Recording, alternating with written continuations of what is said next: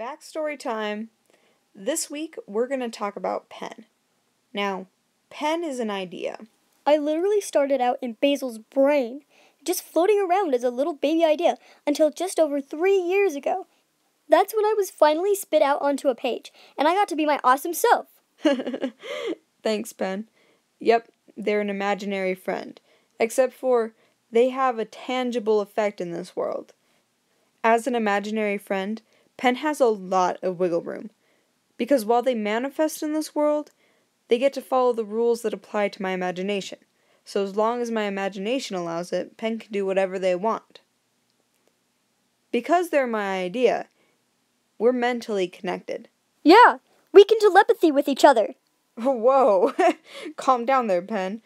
Yes, technically we can communicate telepathically, which is really useful during long, boring classes. Being an idea, a fictional character, they don't have a defined physical form. Pen can turn into anything they want. Boy, girl, bumblebee, snake, they could literally be a fly on the wall. They can get really big or really small, which is awesome because then they can fit in my pocket. A little pocket pen. Did I miss anything? Hmm, I don't know. Let's see. Idea, telepathy, shape changing.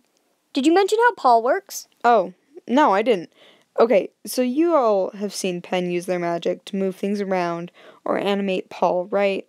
That's exactly what it is magic. It's like telekinesis, but with super cool special effects. Yeah, that's how Pen makes their toy snake Paul move around and change size. It's all part of that magic. It's a good thing you reminded me, Pen. I almost forgot to list off all the cool things you can do. They're able to fly around, move things with magic, teleport, change shape, and summon items. Yep, it's pretty cool. Yeah, it is. If you guys take away anything from this video, I hope it's the concept that pen is an idea from my brain, and thus all of their abilities and thought processes are tied to that reality. So, now you know a little bit more about pen than you did before. Thanks for watching, everyone, and we will see you next time. Bye! See you later! Bye.